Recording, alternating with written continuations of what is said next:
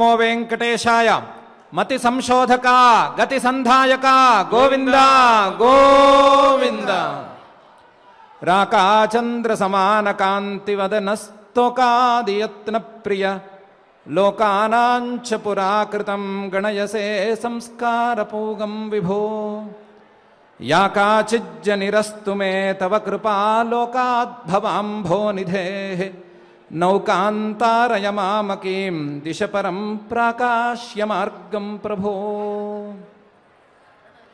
ఓ పూర్ణిమ చంద్రుల్లాంటి అందమైన ముఖము కలిగినటువంటి పరమాత్మ నీవు అతి స్వల్ప ప్రయత్నానికి కూడా చాలా తృప్తి చెంది మానవులకు ఉత్తమమైనటువంటి ఫలితాలను ఇస్తావు.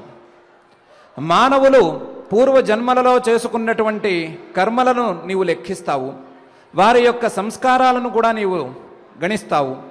ఆ కర్మలను సంస్కారాలను అనుసరించి నీవు వారికి పై పై జన్మలను ఇస్తూ ఉంటావు. నాకు ఏ రకమైన జన్మ ఇచ్చావు అని నేను విచారణ చేయబోను. ఏ రకమైన జన్మైనా పర్వాలేదు. నాకు ఈ సంసార సాగరం నుండి దాటేందుకు ఉపాయాన్ని తెలిపి నా యొక్క ప్రయత్నాన్ని ప్రారంభింపజేసి నన్ను ఉద్ధరించు అని అఖిలాండకోటి బ్రహ్మాండ నాయకుడిని శ్రీ వెంకటేశ్వర స్వామి వారిని ప్రార్థిస్తూ మనం ఈరోజు ఈ శుభ సాయంకాల వేళ శ్రీకృష్ణ పరమాత్మ అనుగ్రహించినటువంటి శ్రీమద్ భగవద్గీత గ్రంథం యొక్క అధ్యయన కార్యక్రమాన్ని ప్రారంభించుకుందాం. ప్రారంభంతో ఆచార్యుల వారితో కలిసి ప్రార్థనా శ్లోకాలను చదువుకుందాం. సంకల్పవాక్యాలను చదువుకుందాం. ఈ కార్యక్రమానికి మంగళాచరణం చేసుకుందాం. ఓం నమో వెంకటేశాయ శ్రీ గురు ప్రార్థనా. గురుర్బ్రహ్మ గురుర్విష్ణు గురుర్దేవో మహేశ్వర. గురు సాక్షాత్ పరం బ్రహ్మ. తస్మై శ్రీ గురవే నమ. శ్రీనివాస ప్రార్థనా. సానుస్థాపిత తార్క్ష్యాయ. తార్క్ష్యాచల నివాసినే. मायागूढविमानाय गरुडस्कन्धवासिने अथ सङ्कल्पः श्रीमत् आदिवराहक्षेत्रे विराजमानस्य अखिलाण्डकोटि ब्रह्माण्डनायकस्य श्रीपद्मावती जानेः भगवतः श्रीवेङ्कटेश्वरस्वामिनः दिव्यसन्निधौ भगवतः श्रीकृष्णपरमात्मनः अनुग्रहेण अस्माकम् सर्वेषाम् शारीरस्य मानसस्य च बलस्य सिद्ध्यर्थम् समस्तानाम् असाध्यव्याधीनाम् निवारणार्थम् सर्वयज्ञ फलप्राप्त्यर्थम् सर्वासाम् सम्पदाम् प्राप्त्यर्थम् विद्यार्थिनां बुद्धिशक्ति वृद्धिद्वारा परीक्षासु उत्तीर्णता सिद्ध्यर्थम् अधिकारिणां स्वस्वविधि निर्वहण समस्ता पापक्षयार्थं श्रीपरमेश्वर प्रीत्यर्थं यथाशक्ति श्रीमत् भगवद्गीतायाः षष्ठाध्यायान्तर्गता त्रयोविंशतिश्लोकपारायणम् करिष्यामहे। श्रीगीता प्रार्थना सर्वोपनिषदो गावो दोग्धा गोपालनन्दनः। पार्थो वत्सः सुधीर्भोक्ता दुग्धम् गीतामृतम् महत्। श्रीकृष्णप्रार्थना श्रीवत्साङ्कम् महोरस्कम् వనమాలా విరాజితం. శంఖచక్రధరం దేవం. కృష్ణం వందే జగద్గురుం. శ్రీవేదవ్యాస ప్రార్థనా కృష్ణద్వైపాయనం వ్యాసం. సర్వలోకహితే రతం. వేదాబ్జ భాస్కరం వందే శమాదినిలయం మునిం. శ్రీ గురుభ్యో నమ. యోగం అభ్యాసం చేసుకోవటాన్ని ప్రారంభం చేసుకుని ఆ అభ్యాసాన్ని ఫలితం దాకా తీసుకు వెళ్ళలేనటువంటి సాధకుల గురించి వారికి పట్టేటువంటి గతుల గురించి విచారణ మనం చేసుకుంటున్నాం. ఆ విచారణలో యోగాభ్యాసానికి లేదా తత్వజ్ఞానం కోసం చేసే ప్రయత్నానికి ఫలితం ఏ జన్మలోనైనా పూర్తిగా దక్కకపోయినా పర్వాలేదు. ఆ పై జన్మ ఉత్తమ జన్మే అవుతుంది. ఆ సాధకుడు సాధారణ సత్కర్మాచరణలు చేసేటువంటి సాధకుల కంటే కూడా పై ఎత్తు ఫలితాలనే అనుభవిస్తాడు. పై ఎత్తు పుణ్యలోకాలనే అనుభవిస్తాడు. అనుభవించిన తరువాత పై జన్మను కూడా ఉత్తమమైనటువంటి జన్మనే అందుకుంటాడు. మహారాజా కుటుంబాలలో అతని యొక్క జన్మ ఉండవచ్చు లేదా మహాయోగుల కుటుంబాలలో అతని యొక్క జన్మ ఉండవచ్చు అని పరమాత్మ ఒక విధంగా చెప్పాడు. చెప్పి జిజ్ఞాసురపి కౌంతేయ శబ్ద బ్రహ్మాతి వర్తతే. అని కూడా జిజ్ఞాసు ఈ యోగం గురించిన జిజ్ఞాస కలిగిన వాడు కూడా ఈ యోగాభ్యాసం ఏ రకమైన ఫలితాన్ని ఇస్తుంది తత్వజ్ఞానానికి ఏ రకమైన ఫలితం అందుతుంది అనే జిజ్ఞాస కలిగినటువంటి సాధకుడికి కూడా ఉత్తమోత్తమమైనటువంటి ఫలితాలు అందుతాయి. సాధారణ కర్మ మార్గంలో ఉండేటువంటి సాధకులు అందుకునే ఫలితాల కంటే కూడా ఇటువంటి జిజ్ఞాస కలిగిన వాడి ఫలితాలు కూడా చాలా ఎక్కువగా ఉంటాయి అనే విషయాన్ని చెప్పాడు. చెప్పటం ద్వారా తత్వజ్ఞాన మార్గంలో అతి స్వల్ప ప్రయత్నం కూడా అతి చిన్న ప్రయత్నం కూడా మంద ప్రయత్నం కూడా ఫలితాన్ని ఇస్తుంది అనే విషయాన్ని చెప్పకనే చెప్పాడు. జిజ్ఞాసురపి కౌంతేయ ప్రయత్నం పెద్దగా చేయక్కర్లేదు మానసికంగా కోరుకోవటం మాత్రమే. ఇది ఎలా తెలుసుకోవాలి? లేదా దీన్ని తెలుసుకుంటే ఏమొస్తుంది ఈ రకంగా తత్వజ్ఞానం కలిగితే ఏమొస్తుంది వింటే ఏమొస్తుంది అనే ఆశతో తెలుసుకోవాలనే కోరికతో ఉన్నా చాలు చిన్న ప్రయత్నం చేసుకున్నా చాలు శబ్ద బ్రహ్మాతి వర్తతే. ఆ శబ్దరూపమైనటువంటి వేదంలో ఏ ఫలితాలనైతే చెప్పారో ఆ ఫలితాల కంటే ఒక రెట్లు ఫలితం ఎక్కువే అందుతుంది అనే విషయాన్ని చెప్పాడు. మరి అతి స్వల్ప ప్రయత్నానికే ఇంత ఫలితమైతే అతి చిన్న ప్రయత్నానికి ఇంత ఎక్కువ ఫలితమైతే ప్రయత్నం మరి పెద్దగా ఉంటే ఏ రకంగా ఉండవచ్చు?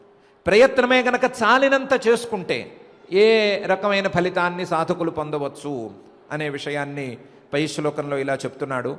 ప్రయత్నాద్గతమానస్తు యోగి సంశుద్ధ కిల్బిష అనేక జన్మ సంసిద్ధ తతో యాతి పరాంగతిం అని. చిన్న ప్రయత్నానికి మహాఫలితమైతే ఉండనే ఉంది. అలా కాకుండా ప్రయత్నాన్నే చాలా పెద్దగా చేసుకున్నట్లయితే తన యొక్క సాధనను మరికొంత పెంచుకున్నట్లయితే ఆ సాధనను నిరంతరం చేసుకుంటూ ఉన్నట్లయితే ప్రయత్నాత్ యతమానస్తు. ప్రయత్నం అంటే ప్రకృష్టమైనటువంటి యత్నం.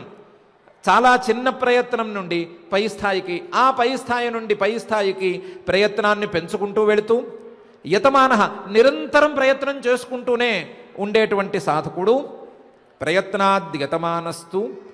వీడు నిజమైన యోగి అవుతాడు. యోగి అయినందువలన సంశుద్ధ కిల్పిష మనసులో ఉండేటువంటి పాపాలు మనసులో ఉండేటువంటి అజ్ఞానం ఇవన్నీ కూడా పూర్తిగా తొలగిపోగా మనసులో ఏ రకమైన మాలిన్యాలు లేకుండా ఉండగా యోగి సంశుద్ధ కిల్బిష అనేక జన్మ సంసిద్ధ చాలా జన్మలలో తన యొక్క జ్ఞాన సిద్ధిని పొంది తన యొక్క తత్వజ్ఞానాన్ని పరిపూర్ణంగా పొంది తతో యాతి పరాంగతిం. ఆ తత్వజ్ఞానం పొందటం వలన ఉత్తమమైనటువంటి సర్వోత్కృష్టమైనటువంటి ఆ పరమ పదాన్ని పొందుతాడు. సర్వోత్కృష్టమైనటువంటి మోక్షాన్ని శాశ్వతమైనటువంటి ఆనందాన్ని అఖండమైనటువంటి సుఖాన్ని పొందుతాడు అని పరమాత్మ ఈ శ్లోకంలో చెప్తున్నాడు. ఏమని చెప్తున్నాడు? ప్రయత్నాద్గతమానస్తు. మంద ప్రయత్నానికి ఏదో ఫలితం ఉంది కదా అని ఊరికే ఉండకూడదు. చిన్న ప్రయత్నానికే చాలా ఎక్కువ ఫలితం ఉంది కదా అని చిన్న ప్రయత్నంతో ఆగిపోవటం అనేది తెలివిగల వాళ్ళ లక్షణం కాదు. చిన్న ప్రయత్నానికే ఇంత ఫలితం ఉంటే మనం పై ప్రయత్నం లేదా మనం సుదీర్ఘకాలం పాటు ప్రయత్నం చేసుకుంటే ఏ రకమైన ఫలితం అందుతుంది అని విచారించుకోవాలి. విచారించుకుని ప్రయత్నం తాలూకు ఆ పరిధిని పెంచుకోవాలి లేదా ప్రయత్నంలో క్వాలిటీని పెంచుకోవాలి ప్రయత్నంలో తీక్ష్ణతను పెంచుకోవాలి. ప్రయత్నం ప్రకృష్టంగా ఉండాలి ఉత్తమంగా ఉండాలి. ఆ ఉత్తమంగా ఉండేటువంటి ప్రయత్నం నిరంతరంగా కూడా ఉండాలి. మధ్యలో మధ్యలో ఆగిపోవడం లాంటివి ఉండకూడదు. ఒకసారి ఆ పని జరిగిపోయింది కాబట్టి దానికి మళ్ళీ అవకాశం ఇవ్వకూడదు. ప్రయత్నాత్ యతమానస్తు. అటువంటి ప్రయత్నం చేసుకున్న సాధకుడు మాత్రం అక్కడతో ఆగిపోడు. యోగి అతను యోగ సిద్ధుడవుతాడు యోగ సిద్ధి కలగడం వలన సంశుద్ధ కిల్బిష అవుతాడు. మనసులో ఉండేటువంటి పాపాలు ఇవన్నీ కూడా ఈ యోగాభ్యాస మహిమ వలన తత్వజ్ఞానం కోసం చేసేటువంటి ప్రయత్న మహిమ వలన మనసులో ఉండేటువంటి పాపాలన్నీ తొలగిపోతాయి. తొలగిపోవటం వలన అనేక జన్మ సంసిద్ధ తతో యాతి పరాంగతిం. ఇలా క్రమంగా ప్రయత్నం నడుస్తూ నడుస్తూ నడుస్తూ ఉండగా ప్రయత్నం పై పై మెట్లకి చేరుతూ ఉండగా ప్రయత్నం నిరంతరంగా సాగటం అనేది నిరంతరంగా సాగుతూ ఉండగా అనేక జన్మలలో అతనికి సంసిద్ధి లభించవచ్చు. పరమాత్మ ఇంతకు ముందే చెప్పాడు శనై శనైరుపరమేత్ బుద్ధ్యాధృతి గృహీతయా అని. తొందరపడకూడదు తత్వజ్ఞాన మార్గంలో తొందరపడితే ఉపయోగమేమీ లేదు. నిదానంగా చేసుకోవలసిందే. ఆ నిదానంగా చేసుకోవటం అనేది కొన్ని జన్మలు పట్టవచ్చు పట్టవచ్చు. అనేక జన్మ సంసిద్ధ చాలా జన్మలే పట్టవచ్చు. చాలా జన్మలలోనైనా సరే సంసిద్ధి మాత్రం తప్పనిసరి. తత్వజ్ఞానం తప్పకుండా కలుగుతుంది. వాడికి శాశ్వతానందం పరిపూర్ణంగా సిద్ధించి తీరుతుంది. అనేక జన్మలలో సంసిద్ధ తతో యాతి పరాంగతిం. ఈ సాధన అనుష్ఠానం వలన ఈ సాధనాన్ని బాగా ముందుకు తీసుకువెళుతూ ఉండటం వలన అతను సర్వోత్కృష్టమైనటువంటి గతిని పొందగలుగుతాడు అని. ఈ శ్లోకంలో పరమాత్మ మనందరికీ చాలా చాలా సూచనలను పెట్టాడు. కొన్ని శాస్త్రీయమైన సూచనలను పెట్టాడు. కొన్నిటిని లౌకికమైనటువంటి సూచనలను కూడా పెట్టాడు. లౌకికమైన సూచనలను ఒకసారి పరిశీలించుకుంటే ఏ కార్యానికైనా సిద్ధి రావాలి అంటే ఏ పనైనా మనకు సిద్ధించాలి పూర్తవ్వాలి ఫలితాన్ని ఇవ్వాలి అంటే ఏం కావాలి? అంటే ప్రయత్నం కావాలి. ప్రయత్నం ఏ రకంగా కావాలి? నిరంతరమైనటువంటి ప్రయత్నం కావాలి. ప్రయత్నాద్యతమానస్తు అనేక జన్మ సంసిద్ధస్తతో యాతి పరాంగతిం. ప్రయత్నం గనక నిరంతరం చేసుకుంటూ ఉండగలిగితే ఏ కార్యమైనా సరే సిద్ధించదు అనే మాట పుట్టదు. ఏ పనైనా పూర్తవుతుంది. ఏ పనినైనా ఎవరైనా సాధించగలరు అని లౌకికమైనటువంటి ఒక న్యాయాన్ని సూచిస్తున్నాడు.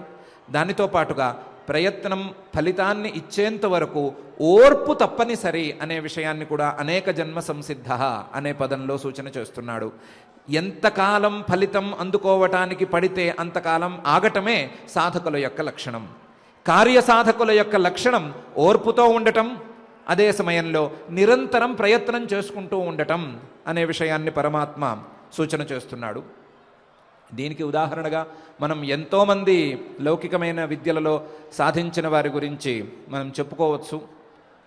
పిల్లవాడు గణిత శాస్త్రపు తరగతిలో ఉన్నాడు మ్యాథ్స్ క్లాసులో ఉన్నాడు. క్లాసులో డివిజన్ గురించి పాఠం జరుగుతోంది.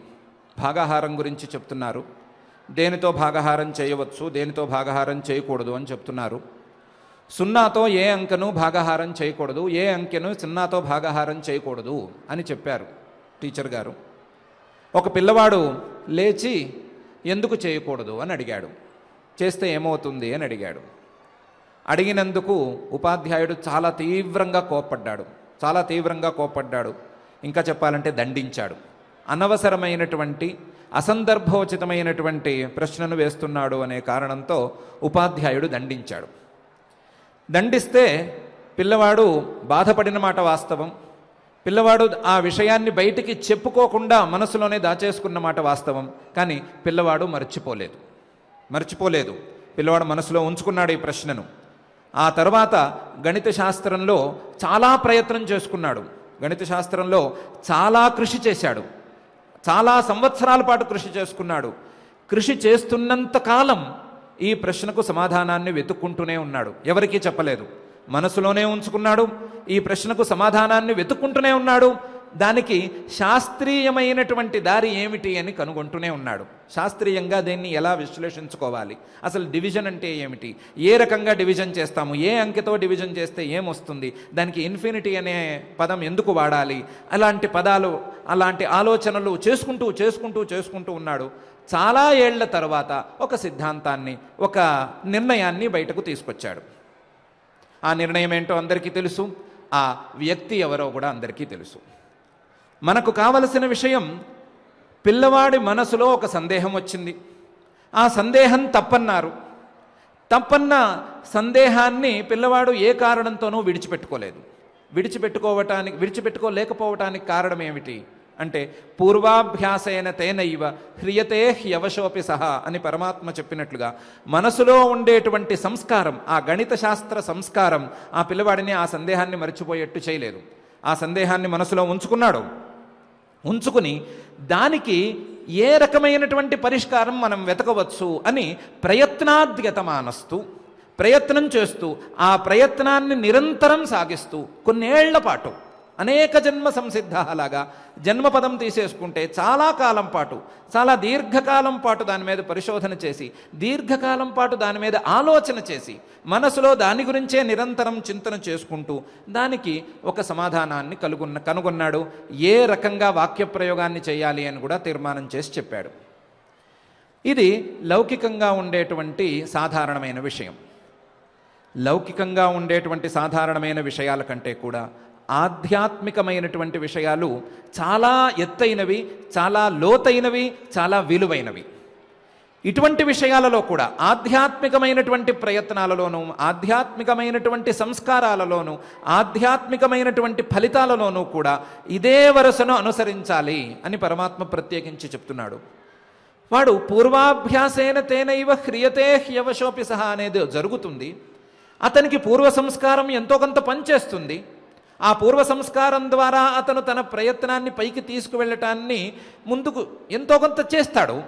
కాకపోతే దానికి తోడుగా ఆ సంస్కారానికి తోడుగా అతని యొక్క ప్రయత్నం గనక ఎక్కువైతే అతని ప్రయత్నం గనక నిరంతరం సాగితే అతని ప్రయత్నం దానికి తోడైతే ప్రయత్నాద్యతమానస్తు అతను యోగి అవుతాడు.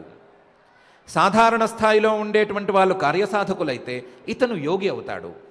ఆ ప్రయత్నం ఏ రకమైన ప్రయత్నం అంటే యోగాభ్యాసంలో చెప్పేటువంటి ప్రాణా ప్రాణాయామ రూపమైనటువంటి ప్రయత్నం కావచ్చు అతి సంక్లిష్టమైనటువంటి ప్రాణాయామ ప్రక్రియ కావచ్చు అతి సంక్లిష్టమైనటువంటి జ్ఞానం కోసం చేసే ప్రయత్నమైనా కావచ్చు ఏ రకమైన ప్రయత్నమైనా సరే నిరంతరం గనక చేసుకుంటూ ఉన్నట్లయితే ప్రయత్నాద్యతమానస్తు వాడు యోగి అవుతాడు. యోగి అయితే గనక ఆ యోగ బలం వలన యోగ ప్రభావం వలన మనసులో ఉండేటువంటి పాపాలన్నీ తొలగిపోతాయి. ఆ యోగానికి ధర్మమేఘ అని కూడా ఒక పేరుంది. ధర్మమేఘం అని అంటారు దాన్ని. యోగం గనక సమాధి దాకా వెళ్ళగలిగితే లేదా సంప్రజ్ఞాత సమాధి అసంప్రాజ్ఞ అసంప్రజ్ఞాత సమాధి అనే రెండు సమాధులను గనక సాధించుకోగలిగితే ఆ సమాధులు ఆ యోగం ధర్మమేఘంలా వర్షించి మనసులో ఉండేటువంటి పాపాలన్నిటినీ పోగొట్టి మనస్సును పరిశుభ్రం చేస్తాయి అని యోగశాస్త్రం వారు చెప్తూ ఉంటారు. అటువంటి సంశుద్ధ కిల్బిష అనే స్థితిని ఈ యోగి పొందిన తరువాత అనేక జన్మ సంసిద్ధ. చాలా జన్మలలో ఒక జన్మలో అవుతుంది అనే నియమం లేదు. అనేక జన్మలలో సంసిద్ధిని పొంది తతో పరాంగతిం. ఆ తరువాత అతను సర్వోత్కృష్టమైనటువంటి ఫలితాన్ని పొందుతాడు అని అంటున్నాడు.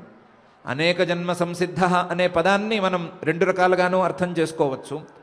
ఇప్పటికే చాలా జన్మలలో అతను సాధన చేసి ఉన్నాడు కాబట్టి ఇప్పటికే చాలా జన్మలలో సాధన ఒక దశకు చేరుతూ ఉన్నది కాబట్టి అనేక జన్మల యొక్క సిద్ధిని ఈ జన్మలో పొందుతున్నాడు అనే అర్థమైనా చెప్పుకోవచ్చు.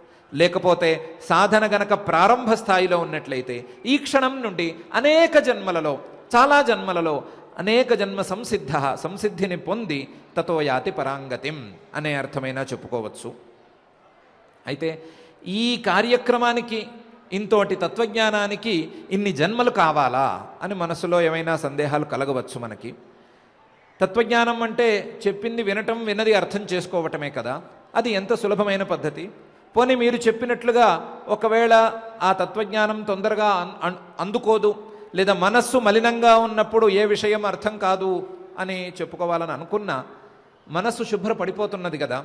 మనస్సు శుభ్రప మనస్సు శుభ్రపడటానికి మీరే కొన్ని ఉపాయాలు చెప్పారు కదా. ఆ ఉపాయాలతో మనస్సు శుభ్రపడిపోతే తత్వజ్ఞానం వెంటనే అన్- అందుకోవాలి కదా. అని అంటే అది అంత సులభమైన వ్యవహారం కాదు. తత్వజ్ఞానం అందుకోవటం అందుకున్న తత్వజ్ఞానం స్థిరపడటం స్థిరపడిన తత్వజ్ఞానం ఫలితం వరకు వెళ్ళటం అనేది చాలా లాంగ్ ప్రాసెస్ లేదా సుదీర్ఘ ప్రక్రియ అనే విషయాన్ని చాలా గ్రంథాల్లో సుదీర్ఘంగా చెప్పారు. దానికి జ్ఞాన భూమికలు అనే పేరుతో ఏడు జ్ఞాన భూమికల గురించి కూడా చెప్తారు వారు. ఒకటి రెండు మూడు నాలుగు ఐదు ఆరు ఏడు. ఏడు దశలను సాధకుడు దాటవలసి ఉంటుంది. అందులో మూడు దశలు సాధనకే ప్రత్యేకించినటువంటి దశలు. ఆ మూడు దశలను దాటినటువంటి సాధకుడు తత్వజ్ఞానాన్ని పొందటం అనే నాలుగో దశకు చేరుకున్న తరువాత ఆ నాలుగో దశ నుండి ఐదు ఆరు ఏడు దశలలో తన తత్వజ్ఞానాన్ని స్థిరీకరించుకోవటం కోసం తన తత్వజ్ఞానాన్ని స్థిరంగా మనసులో నిలబెట్టుకోవటం కోసం చే చేసే ప్రయత్నం కూడా దగ్గరికి వస్తుంది. ఇవన్నీ చిన్న చిన్న విషయాలు కావు. ఎందుకంటే మొదటి దశలో మొదటి ప్రయత్నంలో తత్వజ్ఞానానికి యోగ్యత సంపాదించేటువంటి భూమిక రావాలి. తత్వజ్ఞానానికి యోగ్యత రావాలి అనంటే ముందు నిత్యానిత్య వస్తు వివేకం రావాలి. మనకు కావలసిందేంటి? అక్కర్లేనిదేమిటి? నిజంగా లోకంలో శాశ్వతమైన వస్తువు ఏది? అశాశ్వతమైన వస్తువు ఏది? మనం పట్టుకోవలసింది శాశ్వతమైన దాన్నేనా? లేదా తాత్కాలికమైన వస్తువులను కూడా పట్టుకోవచ్చా? అనే విచారణ చేసుకుని ఆ విచారణను సరిగ్గా శాస్త్రీయంగా సరిగ్గా ముందుకు తీసుకువెళ్ళి ఆ విచారణకు ఫలితంగా వివేకాన్ని పొందాలి. ఆ వివేకాన్ని పొందిన తరువాత శమదమాది సాధన సంపత్తులను సంపాదించుకోవాలి. ఆ శమదమాది సాధన సంపత్తులను సంపాదించుకోవటానికి ముందుగా వైరాగ్యాన్ని మనసులో బాగా పెంచుకోవాలి. వైరాగ్యం వచ్చిన తరువాత శమం అంటే బహిరింద్రియ నిగ్రహం బాహ్యంగా మనకు ఉండేటువంటి ఐదు జ్ఞానేంద్రియాలను ఐదు కర్మేంద్రియాలను నియంత్రించుకునేటువంటి ప్రయత్నం చేసుకోవాలి. దాని తరువాత మనస్సును నిగ్రహించుకునేటువంటి ప్రయత్నం చేయాలి. మనస్సు కూడా నిగ్రహించుకున్న తరువాత మనస్సు కూడా అదుపులోకి వచ్చిన తరువాత శీత శీతోష్ణాలను సుఖ దుఃఖాలను వీటన్నిటినీ కూడా సమానంగా అనుభవించేటువంటి తితిక్ష అనే గుణాన్ని అలవరుచుకోవాలి. అలాగే దీంతో పాటుగా అనవసరమైనటువంటి పనుల నుండి మరలి రావటం అనేటువంటి ఉపరతి అనే గుణాన్ని అలవరుచుకోవాలి. అలా ఉపరతి తితిక్ష ఈ రెండు బలపడిన తరువాత శ్రద్ధగా శ్రద్ధతో అంటే గురువాక్యాల మీద వేదాంత వాక్యాల మీద విశ్వాసంతో ఏకాగ్రతతో గురువుల వద్దకు వెళ్ళాలి. గురువుల వద్దకు వెళ్ళి వారి ముందు తన యొక్క జిజ్ఞాసను పూర్తిగా ప్రకటించుకోవాలి. జిజ్ఞాసను ప్రకటించుకుని తను తత్వజ్ఞానం కోసం పరితపిస్తున్నాను అని వారిని ప్రార్థించుకోవాలి. ఈ ప్రార్థించుకోవటం వరకు మనం నిత్యానిత్య వస్తు వివేకంతో మొదలుపెట్టిన సాధనాలు ఈ గురువులను చేరి వారిని ప్రార్థించుకోవటం వరకు ఉండేటువంటి మొత్తం ఈ కలాపం లేదా ఈ సమూహం మొత్తం ఒక భూమిక కిందకు వస్తుంది. ఈ భూమికలో ఏ అంశం దగ్గర ఏ సాధకుడు ఏ విధంగా అడ్డుపడిపోయి ఆగి ఉన్నాడో ఎవరికీ అర్థం కాదు. ఈ భూమికలో ఏ ఏ అంశము సామాన్యమైంది కాదు. ఏ నిత్యానిత్య వస్తు వివేకము ఏ శమము ఏ దమము ఏ వైరాగ్యము ఏది కూడా తొందరగా అబ్బేవి కావు. ప్రతిదీ కూడా అనేక జన్మలలో క్రమంగా సాధించుకుంటూ సాధించుకుంటూ సాధించుకుంటూ వెళ్ళవలసిందే తప్ప తొందరపడితే ఏ దశలోనూ అందదు. ఇలా మొదటి దశను చాలా కాలం తర్వాత సాధించుకున్న తర్వాత రెండవ దశ అయినటువంటి గురువుల అనుగ్రహంతో వారి ముఖారవిందం నుండి వేదాంత వాక్యాలను వినాలి. ఆ వేదాంత వాక్యాలను విన్న తరువాత వాటి యొక్క అర్థాన్ని మనసులో బాగా చింతన చేసుకోవాలి. అర్థం తెలుసుకోవటం కోసం ప్రయత్నం చేసుకోవాలి. అర్థం తెలుసుకున్న తర్వాత ఆ అర్థం మనసులో నిలబడటానికి మననం చేసుకోవాలి. ఆ మననం వరకు ఉండేటువంటి భాగాన్ని రెండవ భూమిక అంటారు. ఈ భూమిక కూడా చాలా సులభమైన విషయం కాదు. ప్రతి దశలోనూ ఏ వాక్యం విన్నా ఎవరు ఏమి చెప్పినా సరే వాటి మీద పై ఎత్తున ప్రశ్నలు వేసే స్వభావం కలిగిన మనుషులకు ఇది చాలా సంక్లిష్టమైనటువంటి వ్యవహారం. ఎన్నో సందేహాలు ఎన్నో సంశయాలు ఈ విషయాల్లో కలుగుతూనే ఉంటాయి. వాటన్నిటినీ పోగొట్టుకునేందుకు ప్రయత్నం చేసుకుంటూ చేసుకుంటూ ఆ అర్థాన్ని స్థిరీకరించుకోవాలి. గురువులు చెప్పినటువంటి ఉపదేశాన్ని మనసులో పూర్తిగా లంగరు వేసినట్టుగా వేసుకోవాలి. ఆ వేసిన తరువాత రెండవ దశను దాటి మూడవ దశకు వెళ్ళాలి. ఈ దశ ఇంకా సంక్లిష్టమైనటువంటి దశ. ఈ దశలో సాధకుడు పూర్తిగా ఆ గురువులు చెప్పినటువంటి విషయాలను మళ్ళీ మళ్ళీ ధ్యానం చేసుకోవాలి. ధ్యానించుకోవాలి. ధ్యానించుకుని ఇతర బాహ్యమైన వస్తువులన్నిటినీ విడిచిపెట్టుకుని మనస్సుతో వాటిని ఆలోచించుకోకుండా కేవలం ఆ పరమాత్మతత్వం మీదనే మనస్సును స్థిరంగా ఉంచుకోవాలి. ఇది చాలా ఏకాగ్రతతో చాలా సంక్లిష్టంగా చేయవలసినటువంటి ప్రక్రియ. ఈ దశలో కూడా ఏ సాధకుడికి తొందరగా మనస్సు నిలవదు ఏ మనస్సు ఏ సాధకుడికి బుద్ధి తొందరగా కుదరదు ఇది కూడా సంక్లిష్టమైన ప్రక్రియ. ఇక ఈ రకమైన మూడు భూమికలను దాటిన తరువాత నాలుగో భూమిక తత్వజ్ఞానం అనే భూమిక వస్తుంది. ఇది వచ్చిన దగ్గర నుంచి దీన్ని కాపాడుకోవటానికి దీనికి అడ్డంగా ఉండేటువంటి వాటికి ఆ తత్వజ్ఞానాన్ని రక్షించుకుంటూ ఈ లోకంలో సంచరిస్తూ ఈ లోకంలోనే ఉంటూ ఈ లోకంలో ఉన్న వారితోనే కలిసి ఉంటూ వారు ఏ రకంగానూ తన తత్వజ్ఞానానికి అడ్డం పడకుండా వారి ద్వారా ఏ రకంగానూ తన తత్వజ్ఞానానికి విఘ్నం లేకుండా చూసుకోవటం అనేది ఐదు ఆరు ఏడు భూమికలలో చేయవలసినటువంటి ప్రయత్నాలు ఆ ప్రయత్నాలు కూడా చాలా సంక్లిష్టంగా ఉంటాయి. అవి కేవలం ఉత్తమ సాధకులకు గురువులు మాత్రమే చెప్పేటువంటి భూమికలు. ఇటువంటి భూమికలు చాలా సంక్లిష్టంగా ఉంటాయి కాబట్టి. ప్రతి భూమికలో సాధకుడు ఏ స్థాయిలో ఆగిపోయాడో తెలియదు కాబట్టి. ఆ స్థాయిలో ఆగిపోయిన సాధకుడికి పై స్థాయికి వెళ్ళటానికి ఎంతకాలమైనా పట్టవచ్చు? ఎన్ని జన్మలైనా పట్టవచ్చు? ఎన్ని జన్మలు పట్టినా ఎంత కష్టమైనా సరే సాధకుడు ఫలితాన్ని అందుకోవటం మాత్రం తథ్యం అనే విషయంలో పరమాత్మ హామీ ఇస్తున్నాడు. అనేక జన్మ సంసిద్ధ తతో యాతి పరాంగతిం అనే వాక్యం ద్వారా ఎన్ని జన్మలు పడతాయి అనేటువంటి చర్చ అనవసరమైనటువంటి చర్చ. ఎన్ని జన్మలు పట్టినా సరే ఏ రకంగా ఉన్నా సరే ప్రయత్నం గనక నిరంతరం సాగుతూ ఉంటే ప్రయత్నం గనక తప్పకుండా చేసుకుంటూ ఉంటే అది సిద్ధికి తప్పకుండా వస్తుంది. ఆ ప్రయత్నం ఫలితాన్ని తప్పకుండా ఇస్తుంది అని పరమాత్మ హామీ ఇస్తున్నాడు. అయితే ఈ జన్మలో అయ్యే పని అయితే మాట చెప్పాలి. ఇంకా చాలా జన్మల్లో అయ్యేట్లయితే తొందరపడి ఉత్సాహం ఎక్కడి నుంచి వస్తుంది అని ఏమన్నా సందేహం రావచ్చు. సముద్రం అంటే ఏమిటి? అంటే నీరు. నీరు అంటే ఏమిటి? కొన్ని బిందువులు. మరి సముద్రంలో ఎన్ని బిందువులు ఉన్నట్లు? అంటే కోట్ల కొలది బిందువులు ఉన్నట్లు. మనం సముద్రం నుండి బిందువులను తీయమంటే తీయలేమేమో కానీ సముద్రం మాత్రం బిందువుల ద్వారానే వచ్చింది. సముద్రం అంటే నీరు కదా. నీరు అంటే వర్షం ద్వారా కింద పడి అది పారి ఒక చోట చేరితేనే కదా సముద్రమైనది. వర్షం అంటే బిందువులే. ఆ బిందువు ఒక్కొక్క బిందువు పైనుంచి కింద పడితే పడిన బిందువులు అటు ఇటు పోకుండా చెదిరిపోకుండా ఒక మార్గంలో ప్రవహించి బిందువు బిందువు కలిసి కొంచెం పెద్దదయ్యి ఆ పెద్దదైనటువంటి ప్రవాహం కలిసి క్రమంగా ఒకచోట చేరితే అది సముద్రంలాగా మనకు విస్తారంగా కనిపిస్తుంది. వర్షంలా ఉన్నప్పుడు బిందువుగా కనిపించిన నీరు ఫలితం దగ్గరకు వచ్చేసరికి సముద్రం దగ్గరకు వచ్చేప్పటికి చాలా విస్తారంగా కనిపిస్తుంది.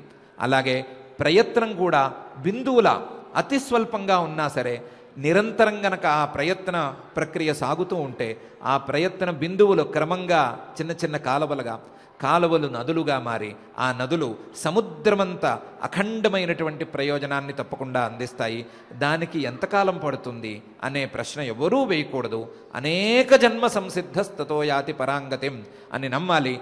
చేయవలసిందల్లా కేవలం ప్రయత్నాద్యతమానస్తు అనే అంశాన్ని మాత్రమే కేవలం ప్రయత్నం మీదే సాధకులు దృష్టి ఉంచుకోవాలి ప్రయత్నాన్ని నిరంతరం చేసుకోవాలి. సిద్ధి కోసం ఎదురు చూడనక్కర్లేదు సిద్ధి తప్పకుండా వస్తుంది అని పరమాత్మ అటు లౌకికంగాను ఇటు ఆధ్యాత్మికంగాను రెండిటికీ ఉపయోగించే విధంగా ఉపదేశాన్ని చేస్తున్నాడు. ప్రయత్నాద్యతమానస్తు యోగీ సంశుద్ధ కిల్బిష అనేక జన్మ సంసిద్ధ తతో యాతి పరాంగతిం అనే ఈ శ్లోకంలో మనం కూడా అటువంటి ప్రయత్నాన్ని స్వల్ప ప్రయత్నాన్ని ప్రారంభించుకుందాం. ఆ స్వల్ప ప్రయత్నాన్ని పెద్దగా మార్చుకుందాం. మార్చుకుని మనం కూడా ఆ సంసిద్ధి కోసం మనమంతు మనం ప్రయత్నం చేసుకుందాం. మనం చేసేటువంటి ప్రయత్నంలో మనకు సహకరించమని అఖిలాండ కోటి బ్రహ్మాండ నాయకుడు శ్రీ వెంకటేశ్వర స్వామి వారిని ప్రార్థించుకుందాం. ప్రార్థించుకుంటూ ఈరోజు పారాయణ కార్యక్రమాన్ని ప్రారంభించుకుందాం.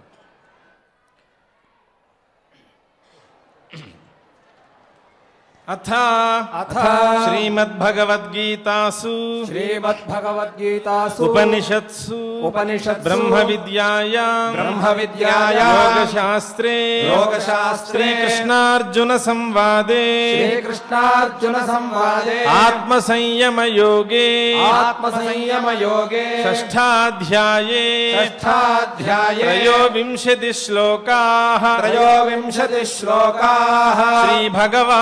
भगवानुवाच श्रीभगवानुवाच। शनैः शनैरुपरमेद्बुद्ध्या धृतिगृहीतया। शनैः धृतिगृहीतया। आत्मसंस्थम् मनः कृत्वा न किञ्चिदपि चिन्तयेत्। आत्मसंस्थम् मनः कृत्वा न किञ्चिदपि चिन्तयेत्। यतो यतो निश्चरति मनश्चञ्चलमस्थिरम्। यतो यतो निश्चरति मनश्चञ्चलमस्थिरम्। ततस्ततो नियम्यैतदात्मन्येव वशं नयेत्। ततस्ततो नियम्यैतदात्मन्येव वशं नयेत्। प्रशान्तमनसंह्येनम् योगिनम् सुखमुत्तमम्। प्रशान्तमनसंह्येन योगिनम् सुखमुत्तमम्। उपैति शान्तरजसं ब्रह्मभूतमकल्म तमशम् उपैति भूतम ब्रह्मभूतमकल्मषम् युञ्जन्नेवं सदात्मानं योगी विगतकल्मषः युञ्जन्नेवं सदात्मानं योगी सुखे सुखेन ब्रह्म संस्पर्शमत्यन्तं सुखमश्नुते सुखेन ब्रह्म संस्पर्शम अत्यन्तम् सुखमश्नुते। सर्वभूतस्थमात्मानम् सर्वभूतानि चात्मनि। सर्वभूतस्थमात्मानम् सर्वभूतानि चात्मनि। ईक्षते योगयुक्त त्मा सर्वत्र समदर्शनः। ईक्षते योगयुक्तात्मा सर्वत्र समदर्शनः। यो माम् पश्यति सर्वत्र सर्वम् च मयि पश्यति। यो माम् पश्यति सर्वत्र सर्वम् च मयि पश्यति। तस्याहम् न प्रणश्यामि। स च मे न प्रणश्यति।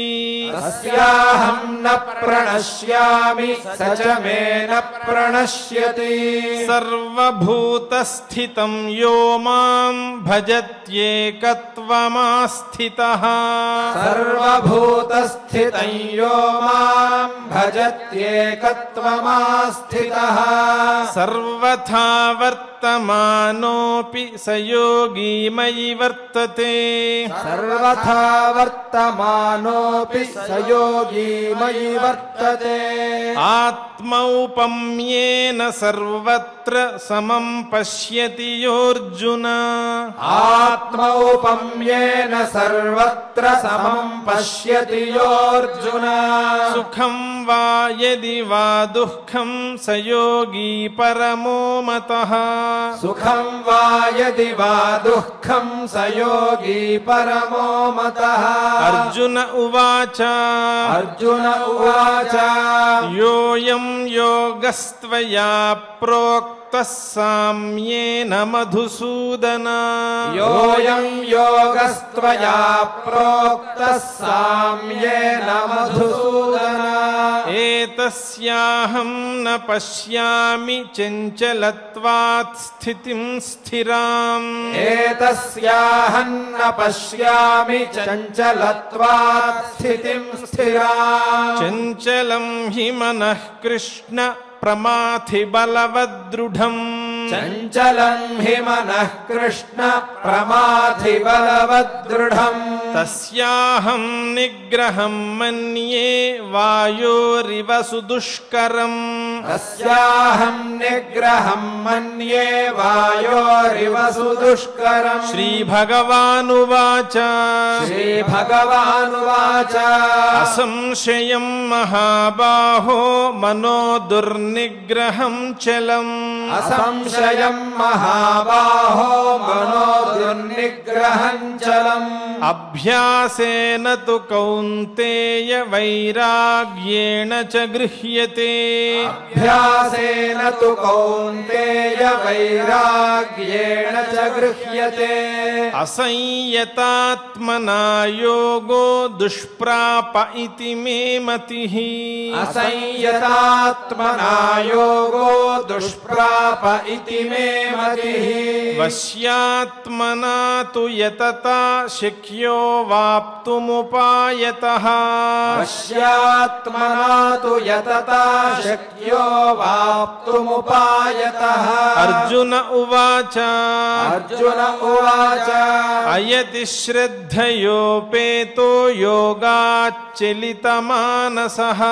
अयति श्रद्धयोपेतो योगाच्चलित अप्राप्य अप्राप्ययोगसंसिद्धिं संसिद्धिम् काङ्गतिम् कृष्ण गच्छति। अप्राप्ययोगसंसिद्धिं संसिद्धिम् काङ्गतिम् कृष्ण गच्छति। अच्छिन्नोभय बिभ्रष्टश्चिन्ना नश्यति। अच्छिन्नोभय बिभ्रष्ट्छिन्ना नश्यति। अप्रतिष्ठो महाबाहो विमूढो ब्रह्मणः। पथि प्रतिष्ठ महाबाहो विमूढो ब्रह्मणः पथि एतन्मे संशयं कृष्ण।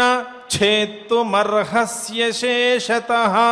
एतन्मे संशयं कृष्ण छेत्तुमर्हस्य शेषतः। तदन्यः संशयस्यास्य छेत्ता न ह्युपपद्यते। तदन्यः संशयस्यास्य छेत्ता न ह्युपपद्यते। श्रीभगवानुवाच। श्रीभगवानुवाच। पार्थ नाथ नैवेह नामुत् नामुत्र विनाशस्तस्य विद्यते। पार्थनैवेह नामुत्र विनाशस्तस्य विद्यते। न हि कल्याणकृत् कश्चिद्दुर्गतिं तात गच्छति। न हि कल्याणकृत् दुर्गतिम् तात गच्छति। प्राप्य पुण्यकृतान् लोकानुषित्वा शाश्वतीः समाः। प्राप्य पुण्यकृतान् लोकानुषित्वा शाश्वती समाः। शुचीनां श्रीमताङ्गेः योगभ्रष्टोऽभिजायते। शुचीनाम् श्रीमताङ्गेः योगभ्रष्टोऽभिजायते। अथवा योगिनामेव कुले भवति धीमताम्। अथवा योगिनामेव कुले भवति धीमताम्। एतद्धि दुर्लभतरं लोके जन्म यदीदृशम्। एतद्धि दुर्लभतरम् लोके जन्म यदीदृशम्। तत्र तं बुद्धिसंयोगं लभते पौर्वदेहिकम्। अत्र तम् बुद्धिसंयोगम् लभते पौर्वदेहिकम्। यतते च ततो भूयः संसिद्धौ कुरु नन्दन। यतते च ततो भूयः संसिद्धौ गुरुनन्दन। पूर्वाभ्यासेन तेनैव ह्रियते ह्यवशोऽपि सः। पूर्वाभ्यासेन तेनैव ह्रियते ह्यवशोऽपि सः। जिज्ञासुरपि योगस्य शब्दब्रह्माति वर्तते। जिज्ञासुरपि योगस्य शब्दब्रह्माति वर्तते प्रयत्नाद्यतमानस्तु योगी संशुद्धकिल्बिषः। प्रयत्नाद्यतमानस्तु योगी संशुद्धकिल्बिषः।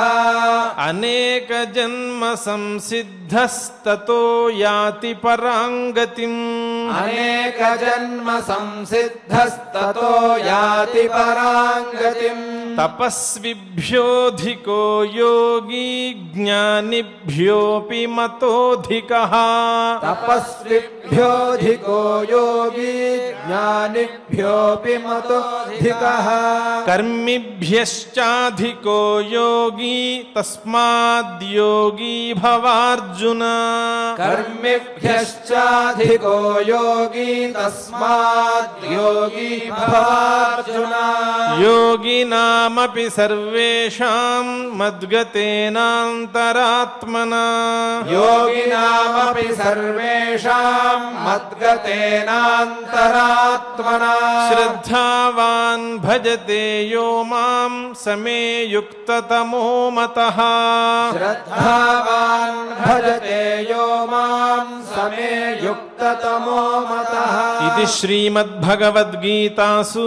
इति श्रीमद्भगवद्गीतासु। उपनिषत्सु। उपनिषत्सु। ब्रह्मविद्यायाम् ब्रह्मविद्यायाम् योगशास्त्रे योगशास्त्रे श्रीकृष्णार्जुनसंवादे श्रीकृष्णार्जुनसंवादे आत्मसंयमयोगो नाम षष्ठोऽध्यायः ఆత్మసంయమయోగో నామ షష్ఠోధ్యాయः ఇంతవరకు ఆరవ అధ్యాయంలో ఇరవై మూడు శ్లోకాలను చివరి ఇరవై మూడు శ్లోకాలను శ్రద్ధగా పారాయణం చేసుకున్నాం ఇప్పుడు సంకీర్తన కార్యక్రమాన్ని ప్రారంభించుకుందాం తిరుమల తిరుపతి దేవస్థానం వారి శ్రీ వెంకటేశ్వర సంగీత నృత్య కళాశాల అధ్యాపకులు శ్రీమతి డాక్టర్ కొల్లూరు వందన గారు మరియు శ్రీమతి పూర్ణ వైద్యనాథన్ గారు అలాగే శ్రీమాన్ రమేష్ గారు ఈ- ఈ బృందం సభ్యులు అన్నమాచార్యులు వారి ఒక గీతాన్ని గానం చేస్తారు.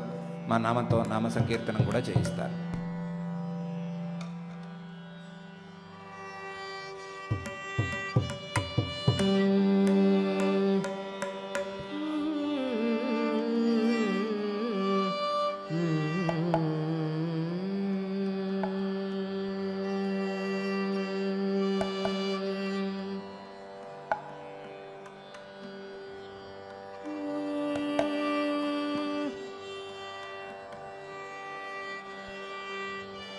నీవు దేవుడవు నేనొక జీవుడ నీవు దేవుడవు నేనొక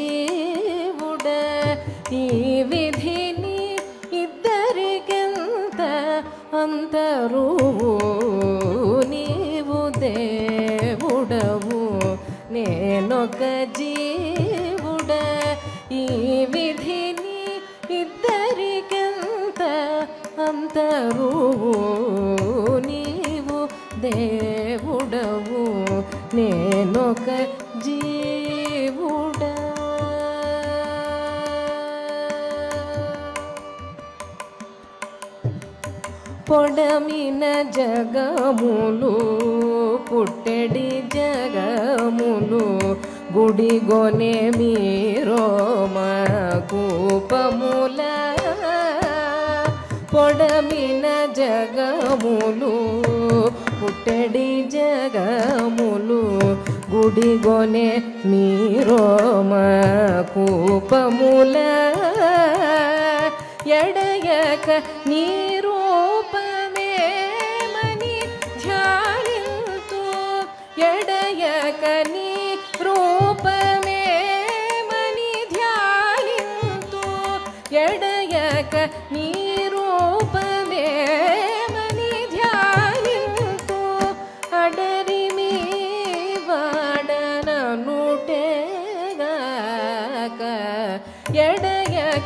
ఎడయక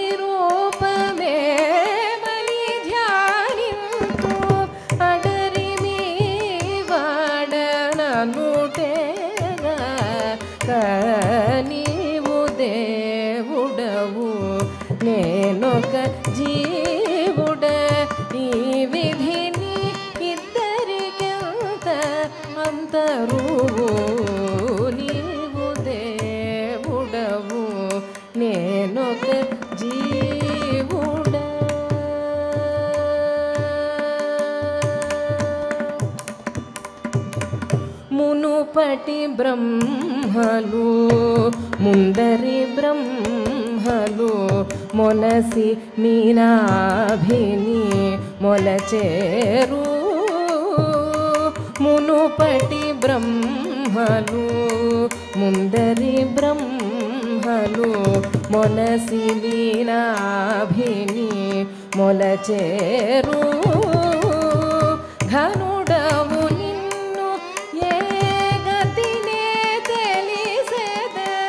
கனுடன்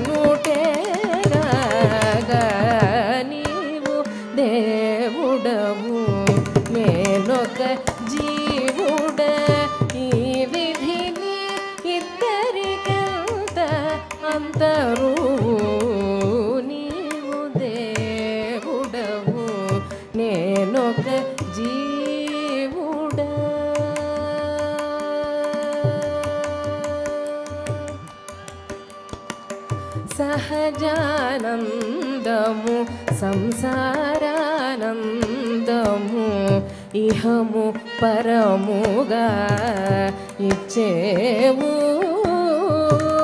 సహజానందము సంసారానందము ఇహము పరముగా ఇచ్చేవు. అహిపతి శ్రీవే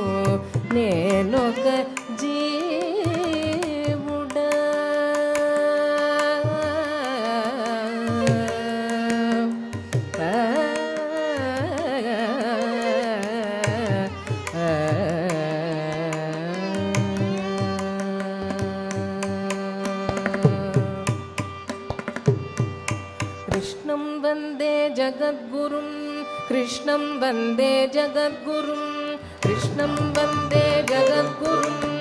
कृष्णं वन्दे जगद्गुरुं। कृष्णं वन्दे जगद्गुरुं। कृष्णं वन्दे जगद्गुरुं। कृष्णं वन्दे जगद्गुरुं। कृष्णं वन्दे जगद्गुरुं। कृष्णं वन्दे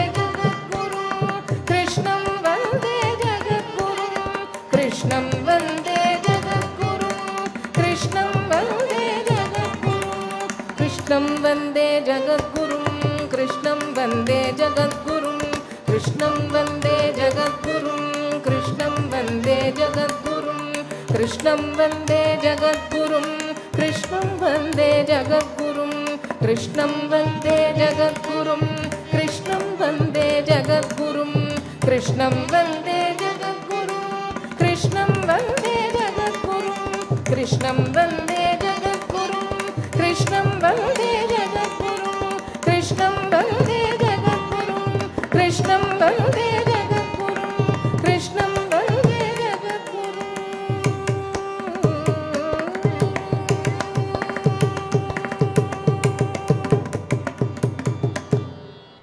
చక్కగా అన్నమాచార్యుల వారి సంకీర్తనను నామ సంకీర్తనను చేసుకున్న తర్వాత ఆచార్యుల వారితో కలిసి మంగళశ్లోకాలను చదువుకుని ఈ కార్యక్రమాన్ని మంగళాంతంగా పూర్తి చేసుకుందాం. ఎత్ర యోగేశ్వర కృష్ణో ఎత్ర పార్థో ధనుర్ధర? తత్ర శ్రీర్విజయో భూతిర్ధ్రువా నీతిర్మతిర్మమ అథ క్షమా ప్రార్థనా యదక్షరపదభ్రష్టం మాత్రాహీనం చ యద్భవేత్? तत्सर्वम् क्षम्यताम् देव नारायण नमोऽस्तु ते। अथ भगवत्समर्पणम् कायेन वाचा मनसेन्द्रियैर्वा बुद्ध्यात्मना वा प्रकृते स्वभावात्। करोमि यद्यत् सकलम् परस्मै नारायणायेति समर्पयामि अथ लोकक्षेम प्रार्थना। सर्वे भवन्तु सुखिनः सर्वे सन्तु निरामयाः सर्वे भद्राणि पश्यन्तु मा कश्चित् दुःखभाग् भवेत्। अथ मङ्गलम् श्रियः कान्ताय कल्याणनिधये निधयेऽर्थिनाम्। श्रीवेङ्कटनिवासाय श्रीनिवासाय मङ्गलम्